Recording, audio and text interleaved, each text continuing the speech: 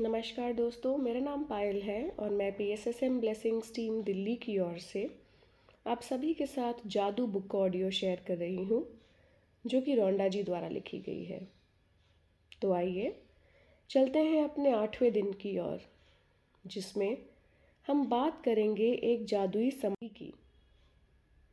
कहते हैं, अपना खाना खाने से पहले शुक्रिया अदा करना हम बहुत हज़ारों सालों से करते आए हैं।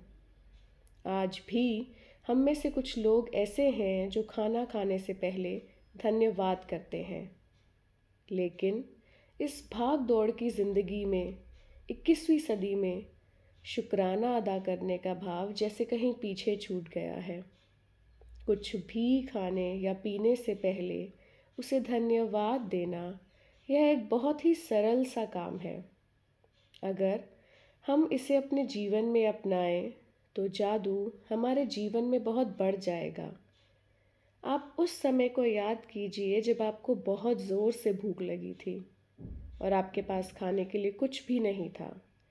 उस समय में आप शारीरिक रूप से कितना कमज़ोर महसूस कर रहे थे अपने आप को। आप उस वक्त ठीक से सोच भी नहीं पा रहे थे। यह सब कुछ हुआ आपके साथ क्योंकि आपने कुछ घंटों के लिए खाना नहीं खाया था।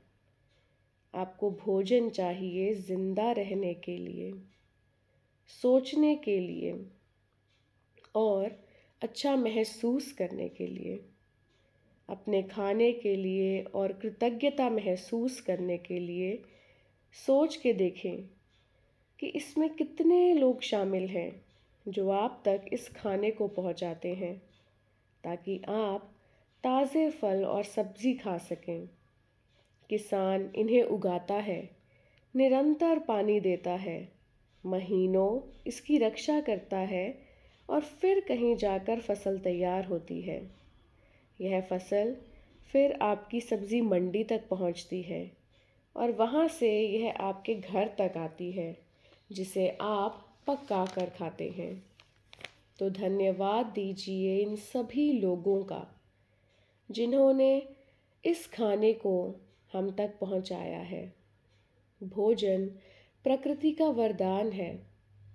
अगर माँ प्रकृति हमें अच्छी मिट्टी ना दे, जिसमें पोषक तत्व ना हो तो हमें खाना भी नहीं मिलेगा। बिना पानी के ना तो भोजन होगा और ना ही वनस्पति होगी। ना जानवर होंगे और हम इंसान भी नहीं होंगे। हम पानी इस्तेमाल करते हैं अपना खाना बनाने के लिए, पीने के लिए, फल सब्ज़ी उगाने के लिए, अपने बाग बगीचों में पौधों को ज़िंदा रखने के लिए, अस्पतालों में, दुकानों में हर जगह पानी का इस्तेमाल होता है। और अगर हम अपने इस शरीर को ही देखें तो यह भी अधिकतम पानी का ही बना हुआ है। यह पानी सच में हमारे लिए एक वरदान है। अगर यह पानी ना होता तो हम ना होते। हमारा परिवार, हमारे मित्रजन कोई भी नहीं होता। लेकिन हम इस खूबसूरत ग्रह पर रहते हैं, क्योंकि यहाँ भोजन और पानी है।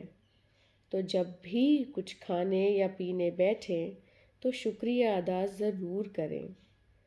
आकर्षण का नियम कहता है जब बहुत सारे लोग खाना और पानी के लिए धन्यवाद देंगे, तब वह हमें बहुत अधिक मात्रा में मिलेगा। कोई भी भूखा नहीं रहेगा। सबकी ज़रूरतें पूरी होंगी। इससे ब्रह्मांड की ऊर्जा बढ़ेगी। और कभी भोजन और पानी की कमी होगी ही नहीं। पहले के समय में लोग अपने खाने और पानी को ब्लेस किया करते थे। क्योंकि ये खाना हमारे अंदर जाता है और शरीर को स्वास्थ्य प्रदान करता है। तो जब तक धन्यवाद देकर खाएँगे तो वह रोम रोम और कण कण को स्वस्थता प्रदान करेगा। तो इसीलिए दिल से कृतज्ञता का भाव लाइए और महसूस करके खाइए। आज से इस अभ्यास को शुरू करें। आप जो भी खाना खाएँ उसका स्वाद लेकर के खाएँ। आम तौर पर हमारी यह आदत होती है खाना जल्दी जल्दी खाने की।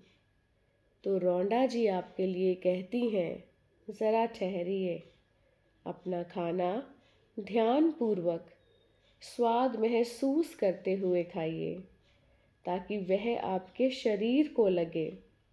अपनी इंद्रियों को उनका काम करने दीजिए।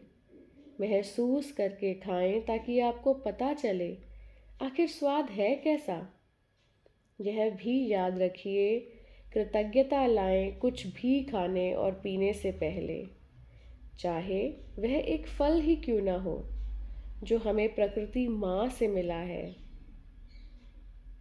हमेशा धन्यवाद दें और फिर खाएँ। यदि आप बिना शुक्राना के भाव के खाना शुरू हो गए और आपको बीच में याद आया, उसी क्षण धन्यवाद दें। इस तरह से हम जागरूक होकर अपना जीवन व्यतीत करेंगे और बेहोशी में नहीं रहेंगे। जब आप इन छोटी छोटी बातों का ध्यान रखेंगे और भोजन और पानी के लिए धन्यवाद देंगे, तब आप देखेंगे कि किस तरह जादू आपके जीवन में बिखर जाएगा। तो जादुई अभ्यास आठ। कुछ भी खाने या पीने से पहले एक क्षण रुकें। अपने दिल से ये शा, जादुई शब्द कहें। Thank you thank you thank you चाहे आज आप अस्वस्थ भी हों, पर आप जैसे भी हैं, आप इस जादुई अभ्यास को अपनाइए। और जैसे ही आप इसे अपनाएँगे, आप पाएँगे कि आप धीरे धीरे पूरी तरह स्वस्थ हो जाएँगे। जादू काम करेगा। सिर्फ़ निरंतर अभ्यास की ज़रूरत है। धन्यवाद।